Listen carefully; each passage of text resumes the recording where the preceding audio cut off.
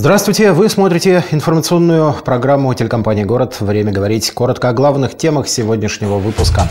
Вот это мы дали! Рязанский нефтезавод похвастался производственными успехами. Про то, что жителям Дашкова песочной нечем дышать из-за выбросов предприятия, авторы отчета скромно умолчали. Взяли, да и выбрали. Рязанская гордума определила победителя в конкурсе на пост мэра столицы области. А вода все течет. Жители Рыбного продолжают отстаивать свои права в противостоянии с хозяевами автомойки, которые заливают водой одну из улиц города.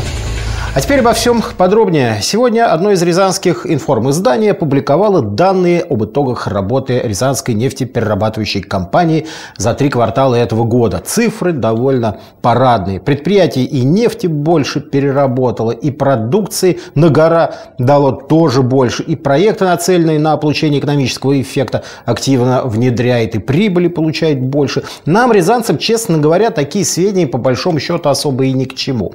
Там, где нефть, там и деньги и глупо было бы сидеть заводу в нищете. Понятно. Горожан гораздо больше волнует и давно волнует проблемы загрязнения воздуха этим самым успешным предприятием. Проще говоря, страшная непрекращающаяся вонь, ставшая характерным признаком жизни в районах южного промузла, достает рязанцев до самой глубины души, а точнее легких.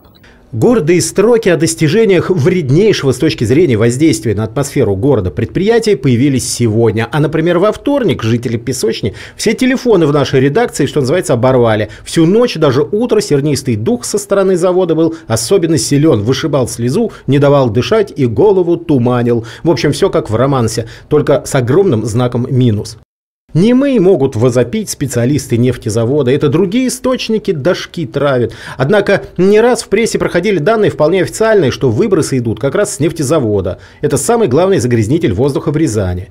Причем, кажется, нефтяным магнатам никто не указ. Например, как известно, в этом сентябре в Москве состоялось подписание соглашения о социально-экономическом сотрудничестве между правительством Рязанской области и Роснефтью, в чью систему как раз и входит Рязанский нефтезавод. Губернатор Олег Ковалев и президент Роснефти Игорь Сечин поставили поставили подписи под документом, который в частности гласит «Стороны обязуются сосредоточить усилия на реализации высокоэффективных проектов, включая инвестиционные и экологические, предлагающих использование современных технологий, направленных на снижение негативного воздействия на окружающую среду и рациональное использование природных ресурсов». Тогда Олег Ковалев особо подчеркнул, очень важно, что будет проведена серьезная реконструкция биологических очистных сооружений на нефтезаводе. Ранее рязанский губернатор не раз касался нефтезаводской, так сказать, дурно пахнущей темы. Например, в этом июне на заседании правительства Рязанской области он сообщил, что в последнее время увеличилось количество обращений по поводу выбросов в атмосферу с нефтезавода. Мне, сказал тогда губернатор, как и всем горожанам, не нравится такая позиция. В этой ситуации я полностью на стороне жителей города. Каким бы крупным ни было предприятие, сколько бы оно ни платило налогов, вопросы экологической безопасности должны стоять на первом месте, и защита окружающей среды обеспечиваться в первую очередь.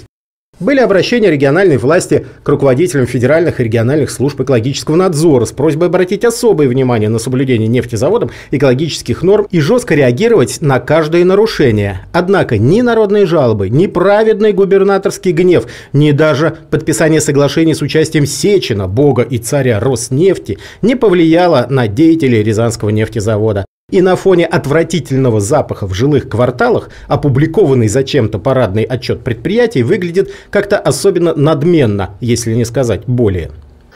Не только жители областной столицы борются за свои права, привлекая как юристов, так и средства массовой информации. Вот жители Рыбного сначала приехали делегации в нашу редакцию и рассказали о противостоянии с автомойкой, которая заливает грязной водой улицу. Затем и нас пригласили к себе, чтобы убедиться воочию в том, как обстоят дела. Из командировки в Рыбное вернулась сегодня Оксана Тебенихина. В нашу редакцию обратились жители соседнего города Рыбное. Всегда мирно соседствующие с железной дорогой жильцы улицы Малошкольная не смогли смириться с недавно появившейся автомойкой.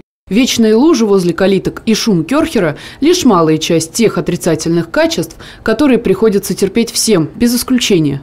Здесь, как видите, очень узкая улица, скапливаются машины, просто иногда невозможно даже пройти. Существуют санитарные нормы, по которым автомойка должна располагаться от жилых домов на 50-100 метров, ну, в зависимости от количества постов. Все лето просто жизни здесь у меня не было абсолютно. Шум керхеров вот сейчас закрыто, да, а летом все это открыто. Просто шум Кёрхера бесконечно, до полдвенадцатого ночи. Узкая улочка нынче переполнена автомобилями, и если днем это не столь заметно, то ночью музыка становится громче, шум воды настойчивее, а компания автовладельцев почему-то пьянее. Мы обращались в прокуратуру, э, в Роспотребнадзор, э, в администрацию города. Ну вот пока никаких результатов нет. А вот сейчас повторно мы направили опять письмо в прокуратуру и в Роспотребнадзор. Ну, вот после этого, наверное, будем подавать в суд уже. У него есть документы, это аренда. И то гаражи, не автомойки никак. И ничего-то не боится хозяин злосчастной автомойки, а ее сотрудники наглеют день ото дня. То на соседском заборе вещи развесят, посушить, то, простите, в туалет под окном сходят. О какой культуре вообще может идти речь, если у нас законодательство, похоже, принципиально не соблюдается? Что это? Смелость, наглость, незнание законов, результат коррупции или безнаказанности, или горя от отсутствия ума? Ответ выберите сами. Этот 2013 год может стать несчастливым для мелких клерков из числа госслужащих. Еще в сентябре Минфин России предложил сократить в системе госвласти секретарей, архивариусов, дел производителей, системных администраторов, операторов банков и баз данных, сотрудников административных хозяйственных служб и бухгалтерии. То есть всех тех, кто обеспечивает деятельность госорганов. Коснется это и рязанских чиновников.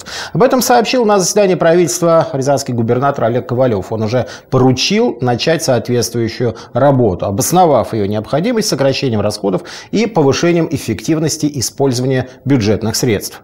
Э, в связи с этим я прошу э, руководителей структурных подразделений, глав муниципальных образований э, начать эту работу немедленно, незамедлительно.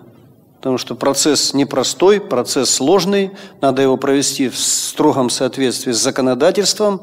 И э, до 1 э, января 2014 э, года завершить э, процесс оптимизации численного состава административного управленческого персонала.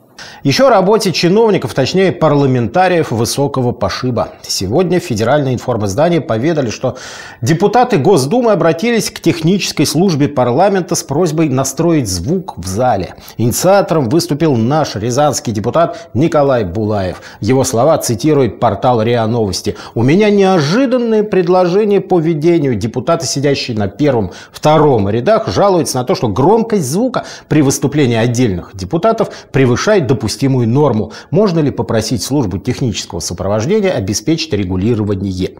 Ну, что тут скажешь. Во-первых, приятно, что наш депутат хоть как-то проявил себя в ходе работы парламента. Во-вторых, предложение «сделайте потише» и впрямь неожиданное.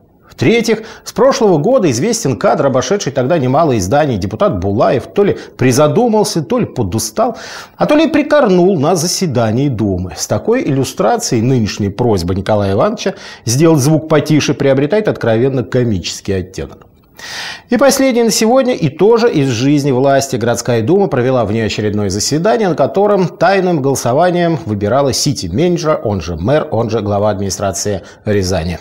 Конкурс претендентов на главное кресло в системе администрации Рязани выявил в начале пятерых потенциальных мэров самого Артемова, а также доцента радиотехнического университета Виктора Пушкина, коммерсанта Александра Очалова, военного пенсионера Виктора Жиляя и временно неработающего Александра Вологжанина. Вчера комиссия определила двоих главных претендентов, судьбу коих решает уже Гордума на общем собрании. Первое место взял Виталий Артемов, второе – доцент радиоуниверситета Виктор Пушкин.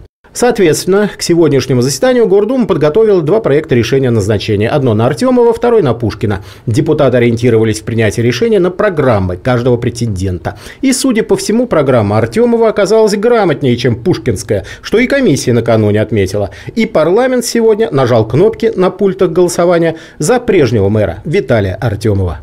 На сегодня все. Итоги уходящей недели подведем завтра в информационно-аналитической версии программы «Время говорить». Хорошего всем вечера и до встречи.